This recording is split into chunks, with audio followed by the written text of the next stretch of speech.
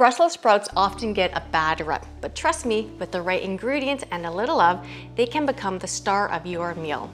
So let's get started. Here's what you'll need for our Brussels sprouts done right. Now let's break down the nutritional info for you. Our Brussels sprouts done right are not only flavorful, but also guilt-free.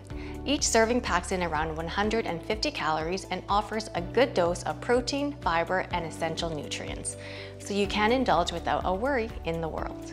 All right, let's dive into the cooking process.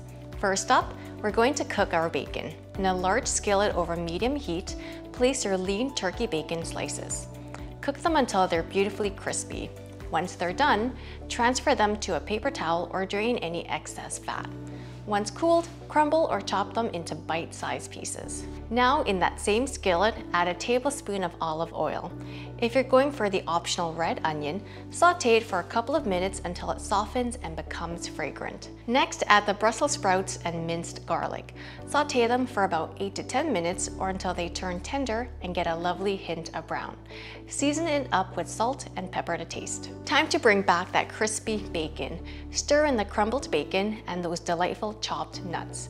We're not only adding extra protein here, but a delightful crunch. And for the grand finale, sprinkle that grated Parmesan cheese all over the Brussels sprouts mixture.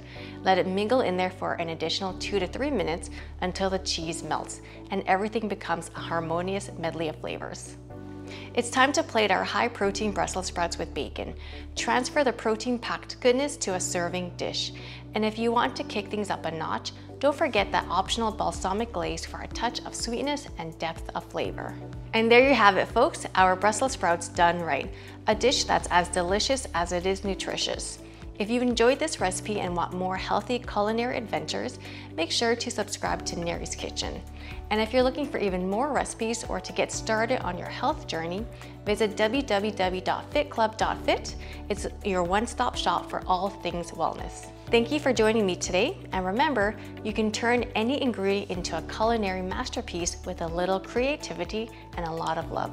Until next time, happy cooking.